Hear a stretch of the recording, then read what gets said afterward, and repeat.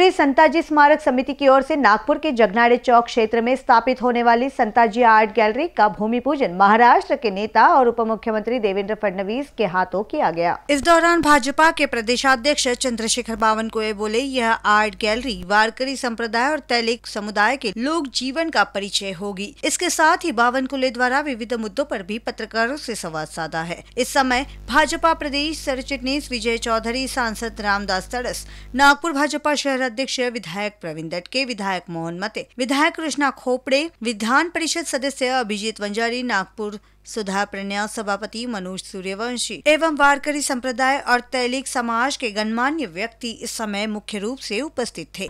आज मला या ठिकाणी माननीय उपमुख्यमंत्री देवेंद्र फडणवीसजी यांचं खरं तर आभार मानलं पाहिजे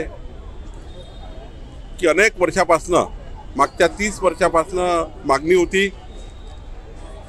श्री संत जगनाळे महाराजांचं जन्मस्थान असलेलं सदुंबरे या देवस्थानाचा विकास करण्याकरता या संस्थानाचा विकास करण्याकरता साठ कोटी रुपयाचा विकास आराखडा मंजूर व्हावा. पण तो आतापर्यंत होत नव्हता. पण आज माननीय देवेंद्रजींनी